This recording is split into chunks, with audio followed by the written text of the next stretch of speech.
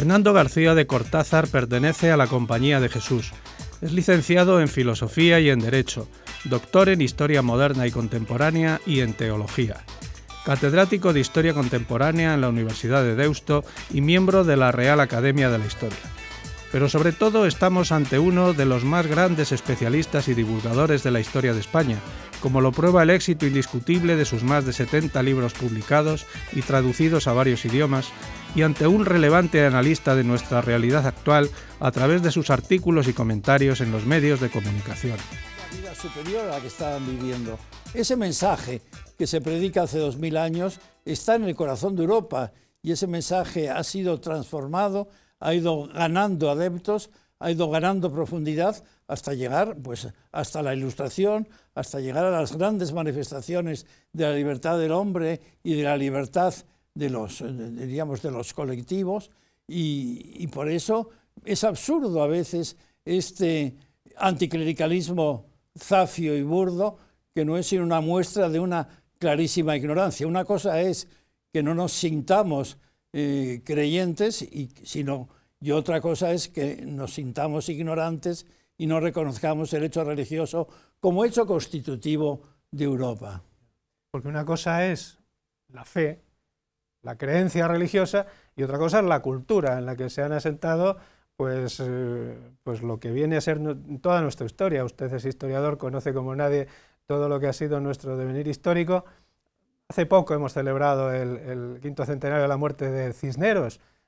Cisneros, evidentemente, es un, es un obispo, es un religioso, pero también es un político, también es un, intelectual. es un intelectual y un político de primera talla. Yo diría que no hay en la historia de España un político de la talla de Cisneros. Bueno, pues quizás eh, Fernando del Católico, Fernando de Aragón, ¿no? Y Cisneros es muy importante además, y conviene decirlo ahora, en un momento en que también hemos cerrado el quinto centenario de la Reforma, porque significa también la, la pre-reforma desde el lado católico. No es claro que Lutero eh, fuera el único reformador, eh, tiene elementos importantes de reforma desde el punto de vista teológico, no tanto desde el punto de vista de su actuación, no, hay más que recordar la guerra de los campesinos, eh, su antisemitismo, etc. Pero lo que sí hay que recordar es que Cisneros previó el deseo de cambio de la Iglesia, que ya venía desde el siglo, desde el siglo XV. Deseo de cambio, y ahora que estamos en un periodo también de exaltación de, la mujer o de deseo de igualdad de la mujer, en un siglo muy femenino como es el siglo XV. Y a veces nos sorprende las amistades femeninas que tenía Cisneros, como eran amistades femeninas las de Ignacio de Loyola, ¿no?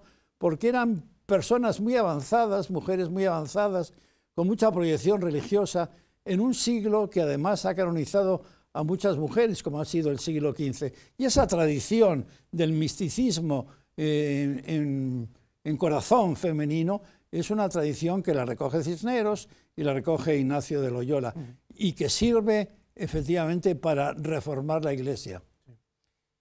Y viniendo más a nuestro tiempo, eh, la presencia de la Iglesia, la influencia de la Iglesia, ha estado presente hasta nuestra propia transición democrática, el paso del franquismo a, la democracia, donde ahí hay una serie de colectivos vinculados a la Iglesia, como es la Asociación Católica de Propagandistas, etcétera, que, mm, bueno, ya en vida de Franco están de alguna manera poniendo los cimientos hacia esa transición que luego íbamos a conocer, ¿no? La transición no se entiende sin el papel de la Iglesia. La Iglesia es la institución que contribuye un poco a mm, quitar la erosión frente a la democracia que existía en sectores recalcitrantes del, incluso del catolicismo español y de España en general. Es la que sirve para amansar en la línea de la democracia a muchos españoles y para liderar movimientos de reforma moderada eh, que conducirían a lo que es la Constitución de 1978. Otra cosa es que la Iglesia no hiciera una acción nacional católica ni por un partido católico, como no lo hizo entonces, ¿no?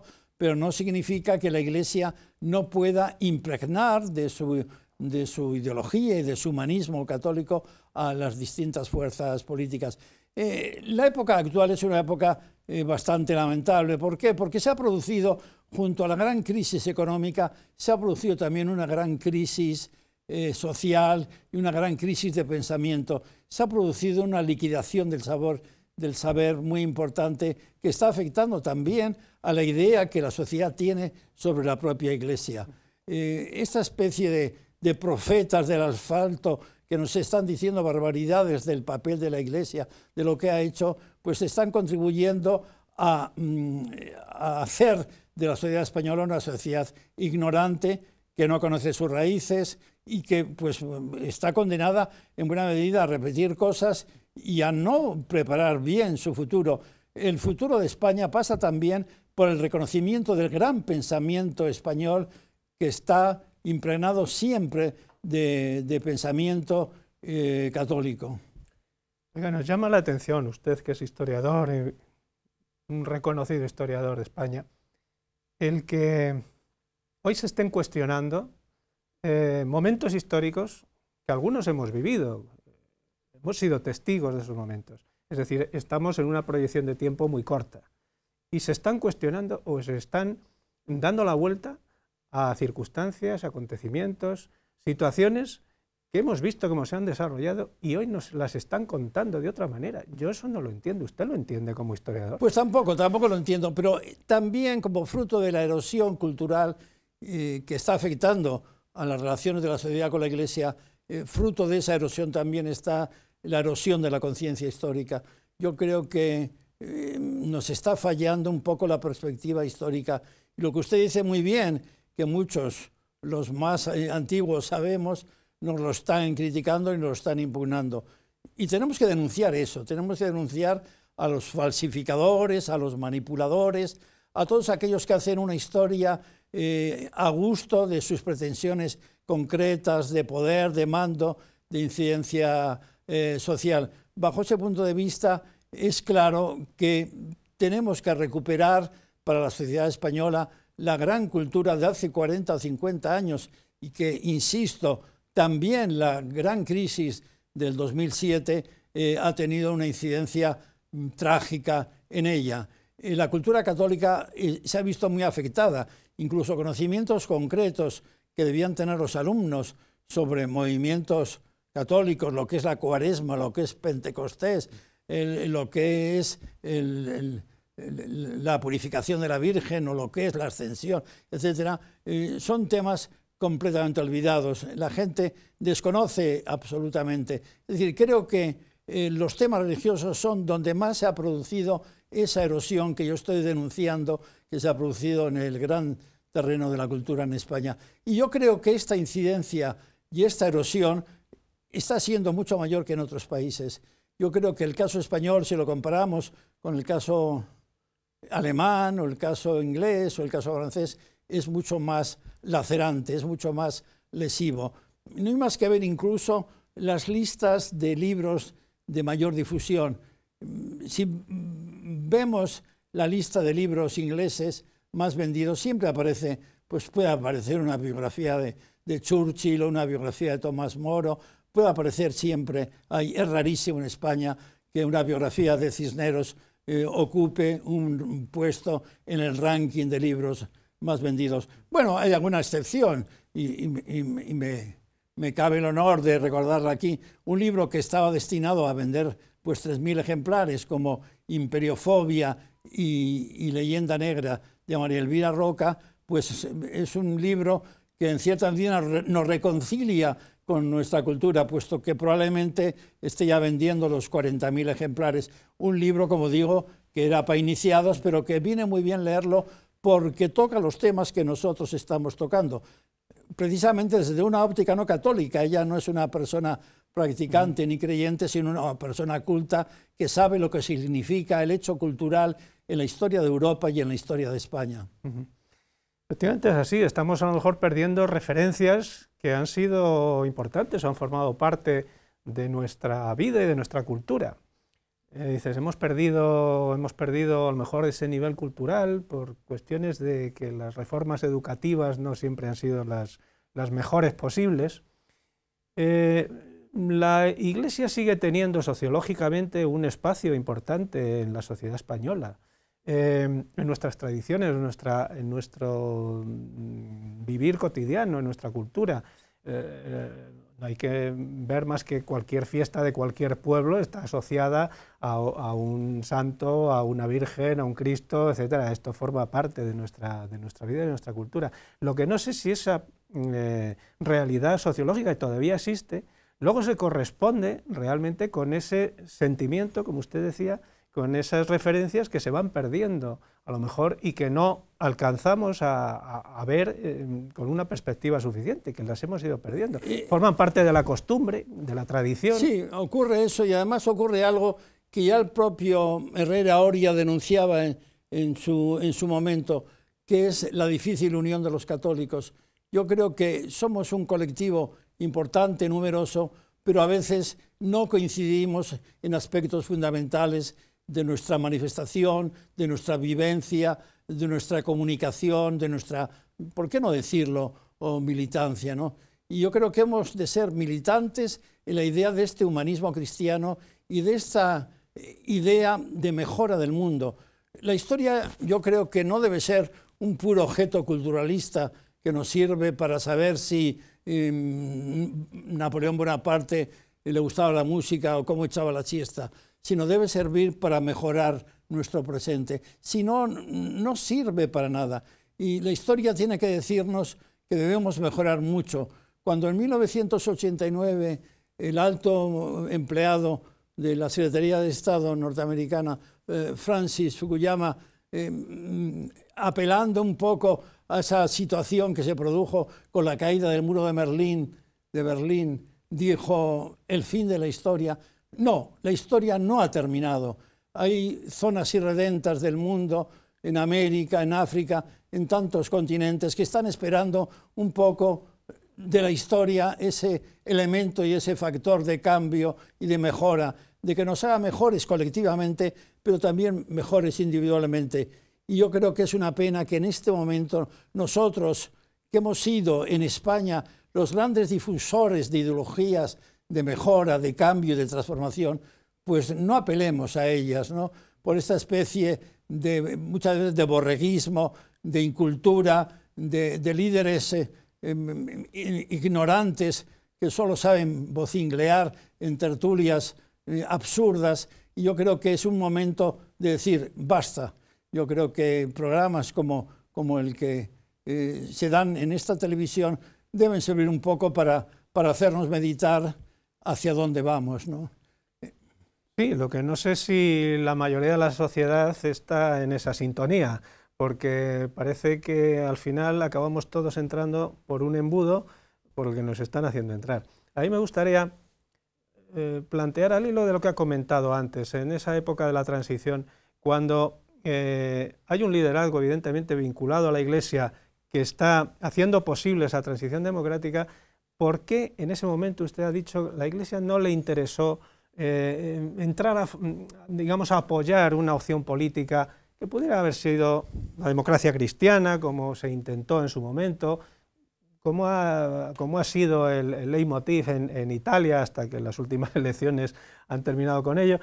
Eh, ¿Por qué no ha sido posible mm, hacer una opción política eh, vinculada, llamémoslo democracia cristiana o llamémoslo de otra manera, eh, ¿por qué no ha habido una opción política que de alguna manera haya recogido esa herencia que se empezó a fraguar en ese momento? Bueno, hubiera sido muy difícil, hubiera sido muy difícil porque los propios católicos estaban muy divididos y luego sobre todo porque la Iglesia venía de un régimen, de, un maridaje em, estrecho con, un régimen, con una ideología y entonces trataba de evitar eh, la repetición de lo que había ocurrido en los años anteriores con el nacionalcatolicismo, que tampoco le resolvió nada, porque la Iglesia eh, viene perdiendo, mm, diríamos, practicantes incluso en la época nacionalcatolicismo. Y además la Iglesia trata de evitar lo que yo llamaría mm, más que un catolicismo de creyentes, un catolicismo de practicantes. Lo que le interesaba a la Iglesia en ese momento es un catolicismo de creyentes eh, vivos, eh, que fueran semilla de transformación en una sociedad que necesitaba de esa transformación. Yo creo que en ese momento pesa mucho la historia anterior.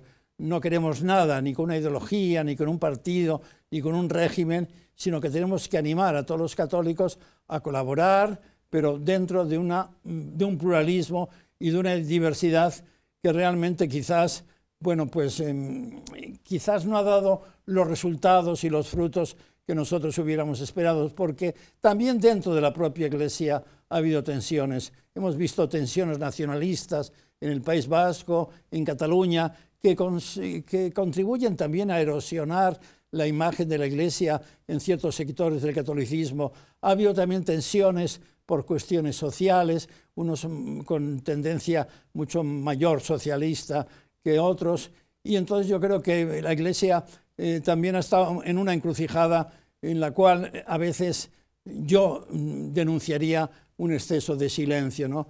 Eh, ha habido católicos que se han agobiado ante una falta de respuesta de sus pastores, como yo lo puedo decir y lo puedo pensar que se está produciendo ahora en algunos temas, como el tema de la unidad de España. Es verdad. Ah, quizá ha habido una intencionalidad eh, buenista de intentar contentar a todo el mundo, cuando eso es imposible, ¿no? Eh, bueno, no nos vamos a pronunciar en uno de otro sentido, aunque curiosamente, porque hay una identificación de lo católico con la derecha, incluso con la extrema derecha. ¿Usted eso lo percibe, lo entiende? Pues mire, no lo entiendo, no lo entiendo porque además creo que es eh, claramente injusta. Eh, la Iglesia es un gran factor, yo casi llamaría revolucionario, por lo menos poniendo unas comillas, de transformación social. Eh, la Iglesia es la gran institución eh, que está pregonando la verdadera igualdad y la que la practica además. O sea, cuando a veces se habla de la Iglesia, de la Iglesia rica, eso es un verdadero tópico injusto pero qué bien cala eso, ¿verdad? Eh, en la opinión pública. Cala, cala enormemente, pero mm, que se metan en la vida de tantos párrocos, de tantos curas de pueblo que viven con menos de mil euros, y que se metan en la vida de tantos conventos con estrecheces económicas enormes, que se metan en la vida de tantas, eh, eh, tantos católicos generosos que ofrecen parte de sus ganancias en beneficio de todos los demás. El problema yo creo que es claro, y yo lo debo decir aquí, la Iglesia no sabe venderse. En la Iglesia le falta eh, una comunicación y le falta lo que ahora pues llamamos casi gabinetes, gabinetes de prensa o gabinetes de comunicación. Que la Iglesia no sepa vender lo mejor que está haciendo, que no lo saben los propios católicos, ni por supuesto los ateos y agnósticos, etcétera, pues no deja de ser dramático. Que la Iglesia pueda pasar casi siempre por todos estos grandes eh, temas dramáticos de la pederastia, etcétera, me parece dramático porque está silenciando y olvidando el gran trabajo de la Iglesia, por ejemplo, en las misiones, la gran transformación de la Iglesia eh, que está produciendo en sitios como África, como, América Española. Todo esto lo debían saber los, los católicos. La mejor eh, embajada o los mejores embajadores que tiene España ciertamente son los religiosos. Yo he vivido y tengo muchos compañeros jesuitas que han vivido en, África y la gran aportación ciertamente de Europa a África, y esto eh, no me duele en prendas decirlo, es la Iglesia. Es decir, porque Europa como continente lo que ha servido y lo que ha hecho muchas veces es la explotación, como sabemos, de África. En cambio, la gran aportación cristiana a, África, ya que hablamos de este continente, la han hecho los eclesiásticos, la han hecho las monjas, la han hecho los curas, lo han hecho tantos misioneros, tantos voluntarios, que tienen clara la idea no de un puro humanitarismo, de un puro, sino de un humanitarismo de raíz cristiana. Yo me entrego a los demás porque Jesucristo me lo está pidiendo y me lo ha dicho desde el mensaje de, de las bienaventuranzas. No porque tenga un sentido de, igualdad con el hombre, de hermanos ante la muerte, sino porque tengo un sentido de hermano del hombre porque los dos nos sentimos hijos de Dios. Eh, estoy de acuerdo con usted en el tema de la falta de comunicación de, de, lo que hace la Iglesia, eso es verdad. ¿Cuál es el problema? ¿Hay una falta también de liderazgos? Eh, eh, claro, liderazgos lo aplicamos siempre al ámbito político, pero yo creo que la Iglesia como institución social, por supuesto religiosa, pero con su presencia social importante, eh, a veces se echa en falta, como usted decía, el que haya una opinión, una opinión en el momento adecuado sobre temas concretos y con la debida relevancia. ¿Por qué no se produce esto? ¿Es un problema de liderazgo? Eh, yo creo que también eh, la historia es muy importante, ¿no? Es una defensa de mi disciplina, ¿no? Un traer el asco a mi sardina. Eh, yo creo que los desarrollos históricos mm, nos dan a entender determinadas posturas. La Iglesia siempre ha sido muy reticente ante ciertos medios, llamaríamos modernos.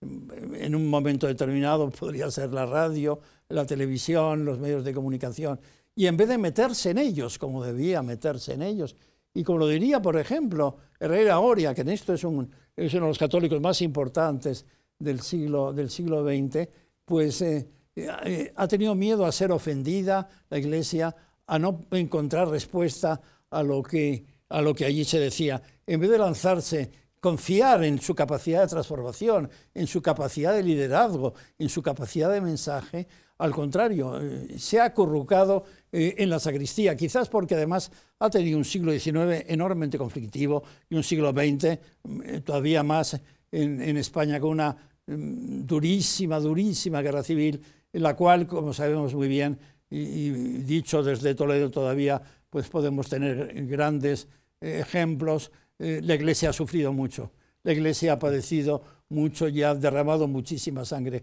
con lo que la sangre conmociona. ¿no? Pero estamos en, otros tiempos, estamos en otros tiempos eh, y, las formas de comunicación y las formas de llegar al público están variando mm, de una manera vertiginosa y hay que adaptarse a esa situación. Eh, quizá hay un problema de adaptación ahí también a, las, nuevas fórmulas de comunicación. Yo creo que sí, yo creo que también eso, sin, sin sacralizarlas. Es decir, yo no sacralizo ni las redes sociales, eh, eh, miremos lo que hay y, lo que pasa por ahí, por esas redes sociales. Y luego yo, fíjense, cuando, cuando eh, los periodistas se preguntaban cómo debía ser el Papa con el motivo del último cónclave, yo dije una cosa que les llamó la atención. Yo dije que tendría que ir contra los tiempos. En vez de esa frase ya tópica de que esté en consonancia con los tiempos. Si nosotros estamos definiendo los tiempos como tiempos de trivialidad, de liviandad, etc., el Papa y la Iglesia tienen que ir contra esos tiempos, tienen que dar un mensaje mucho más recio, mucho más auténtico, que además lo puede sacar muy bien de su propia tradición. Entonces, bajo ese punto de vista, yo creo que tenemos que acogernos a los medios, efectivamente, saber ir a una en estudio de radio, saber ir a la televisión, escribir en un periódico, sin miedo, sin miedo, eh, pero al mismo tiempo eh, em, no acomodándonos a un mensaje liviano, a un mensaje trivial, a un mensaje de todo vale, ese mensaje eh, buenista que no distingue el, bien del mal, el error de la verdad. Yo creo que al contrario, tenemos que sacar de nuestra tradición y en ese caso la, gran tradición española del pensamiento recio eh, que pasa por la escuela de Salamanca, pues pasa por la gran teología o pasa por la gran mística, pues debía mm, arrancar de nosotros muchas respuestas a las preguntas que el hombre se hace. Porque además, quizás muchas veces lo que hacemos nosotros es responder a preguntas que nadie se hace. En cambio, las preguntas que verdaderamente el hombre se hace son las que a veces quedan sin respuesta. Esas son las que los católicos debemos responder. De acuerdo. Eh, estamos hablando todo el tiempo de la Iglesia y con ello nos estamos refiriendo a la jerarquía eclesiástica, pero la Iglesia es todo el pueblo de Dios. la Iglesia son también los laicos, son también eh, cantidad de eh, personas, instituciones que están ahí y que no sé si están teniendo también Mm, el protagonismo que debieran tener en la presencia pública de esas personas, de esas instituciones, en la vida pública española.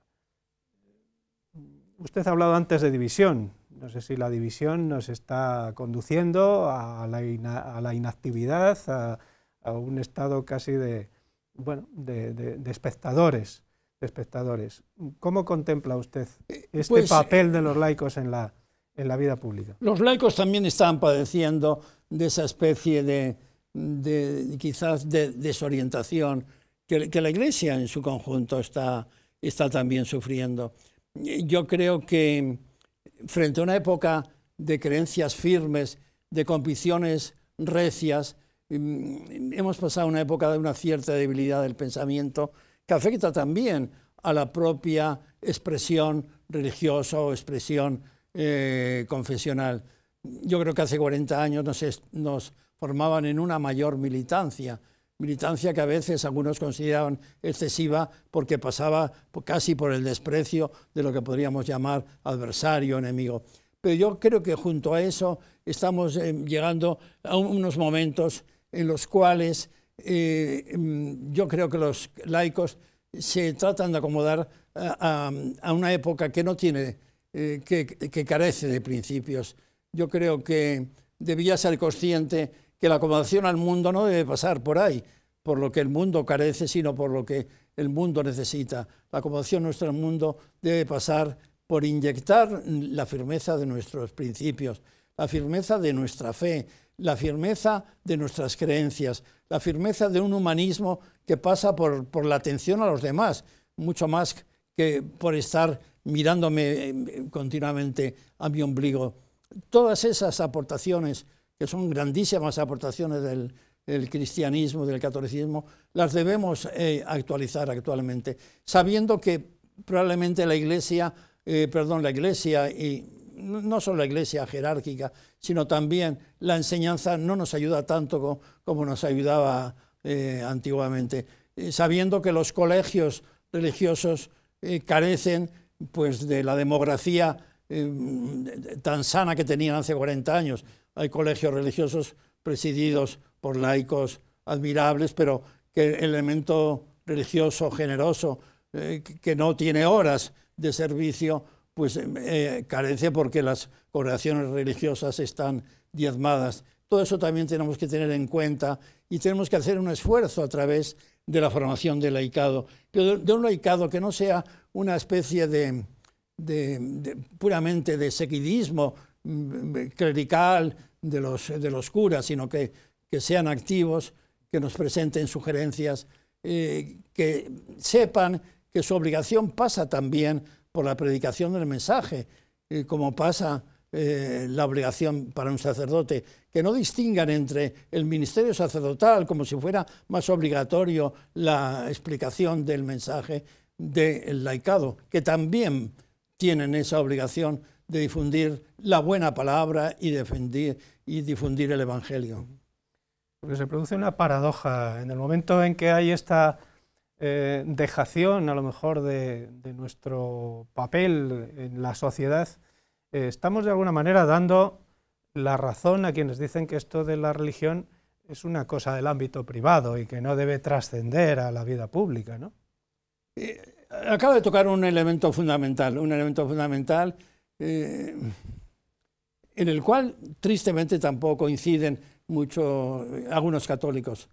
Es decir, el ámbito religioso pertenece a la privacidad, pero el ámbito religioso traspasa los ámbitos de la privacidad porque realmente encuentra su respuesta y encuentra su explicación en lo público. No podemos ser solo eh, católicos para rezar en el interior de nuestras eh, capillas clandestinas. Tenemos que ser católicos para expresar eh, la idea de la religión y la idea del mensaje salvífico en los foros, en las plazas. No se entiende, y esto tenemos que, yo lo insistiré yo hasta, hasta el final de mis días, no se entiende la Iglesia y no se entiende el catolicismo sin el sentido público. Por eso eh, instituciones admirables como la que fundó eh, Ángela Ayala, eh, fomentada por Herrera, Ori, etcétera, tiene muchísimo, muchísimo sentido. Es decir, somos eh, católicos en la vida pública. Eh, no es el mensaje liberal del siglo XIX que trataba de mandar